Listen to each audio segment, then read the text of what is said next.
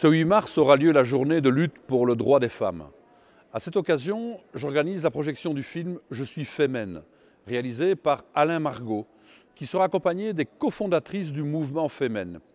Le film décrit la vie d'une militante qui est devenue cofondatrice du célèbre groupe d'opposantes féministes. Les militantes que nous recevrons sont aujourd'hui exilées car elles ont dénoncé les dignitaires politiques et religieux de leur pays. Elles ont également en commun le fait d'avoir dû quitter le mouvement féminin qu'elles estiment s'être trop détourné de l'esprit initial. Au niveau européen, il n'y a toujours pas une réelle égalité entre les droits des femmes et ceux des hommes, qu'il s'agisse de la discrimination à l'embauche, de l'égalité de salaire, que dire de la protection euh, contre la violence.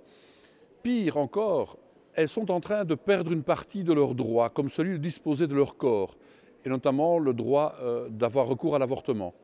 Ce film nous donnera l'occasion d'aborder cette thématique à travers la vie de femmes qui se sont battues pour leur liberté d'expression.